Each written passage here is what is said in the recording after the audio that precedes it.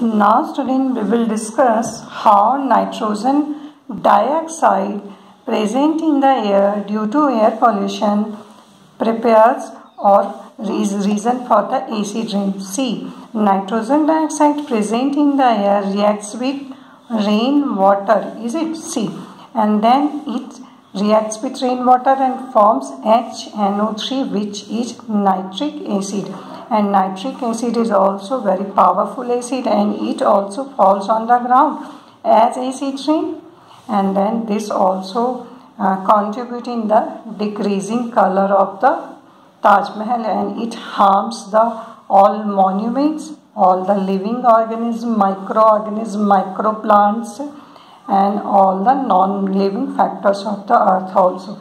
So this is how acid rain occur in nature and how it is very much harmful for us. So this acid rain when falls on the earth it also goes to the water bodies. This rainwater where will finally go? This rainwater flow up to the water bodies otherwise it will be sipped into the ground so when it goes to water bodies, then it also pollute the water. So in our next topic, we are going to discuss about water pollution and finally we will discuss soil pollution in this chapter. So for today, we had discussed air pollution and